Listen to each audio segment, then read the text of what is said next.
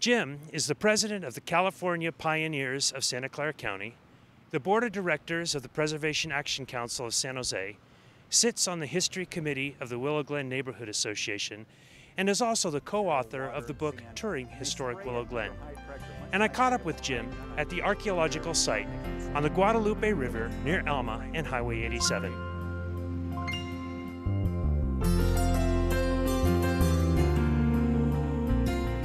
Jim, can you tell us about some of the earliest sustainable communities here in Willow Glen?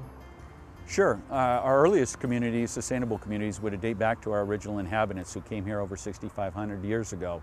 They were the Tamien people who were part of the Ohlone tribe. They were hunter-gatherers and their religion worshiped nature. So they were very sensitive to their environment. They tried to take no more than they needed and they were hunter-gatherers. So they, they, they didn't work the lands. They, they ate the local um, foods that came from grizzly to elk to deer, and they fished the creeks and ate berries and acorns. What sustainable building techniques did they use? Well, when they built their homes, which we refer to as, they would refer to as wickiups, they built the framework from willow branches, which were plentiful here in Willow Glen, as the name indicates. They weaved in grasses uh, into it, thatching it, and covering, in some cases, uh, the exterior huts with mud for additional protection against the elements. They cut a hole at the top to allow the smoke from their fires to escape. With the uh, influence of uh, Europeans moving in, how, how did those uh, building techniques change? Well, they changed drastically over time. The first Europeans to come to this area were the Spaniards who came in 1777 to establish Mission Santa Clara and the Pueblo de San Jose, Alta California's first city.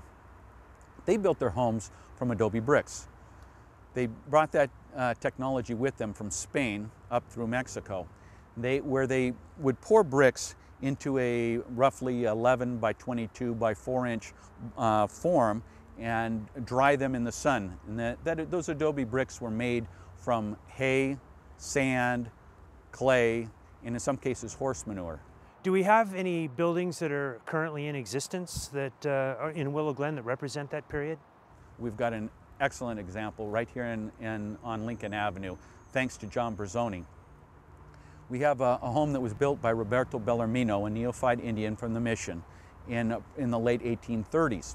He built this first home, again using the, the adobe uh, practice of building his home. This home was later adapted as the Americans came to this area building with a wood frame construction. So there's a small 18 by 18 section of the home that still remains with the newer additions that were done in the um, second and third quarter of the 19th century by Spaniards and Americans. As we move forward on the timeline, can you give me some examples of uh, uh, sustainable building practices from the uh, early to mid 1900s? We, we do, Kevin. As, as we move up Lincoln Avenue in, in the downtown between uh, Minnesota and Willow Street. Uh, originally, at the turn of the century, it was lined with residences. And as the needs changed in that area, the homes needed to be adapted. In some cases, they moved those homes. They, they didn't have a disposable society at that time, so they, they knew the value of the building materials that went into building those residences. So in some cases, they moved them a short distance away onto neighboring streets to be reused as homes. And in other cases, they adaptively reused the homes on their original sites. Examples are the Buffington House, which later became uh, a real estate office and a, a, mortgage location. And we have the, the old Blaine's lighting store, which added on to the front of the residence and made it a retail center for, for lighting fixtures. Are there any recent examples of uh, sustainable building practices used today? We've got an excellent example on, on Hicks Avenue, which uh, the residence of Noel Cross, a local architect, this technology has almost made come full circle from, from uh, the Roberto Balermino uh, Adobe. He built his home uh, from earthen materials, uh, combining them with, with, them with a cementitious material, except in this case, he sprayed them uh, onto metal forms under high pressure, much the way they build, uh, make a swimming pool today with gunite. He also incorporated into the structure of his home, reusing building materials from other um, buildings. He incorporated mantles from Europe, stone mantles from Europe. He incorporated uh, timbers that were taken from the old town and country site when they built Santana Row. He's incorporated uh, solar panels to provide his electricity and a geothermal pump to provide the heating of his home. That's great. Jim, I want to thank you for coming in today. I really appreciate you taking the time and, and giving us a walk through a little bit of uh, the sustainable buildings in Willow Glen through history.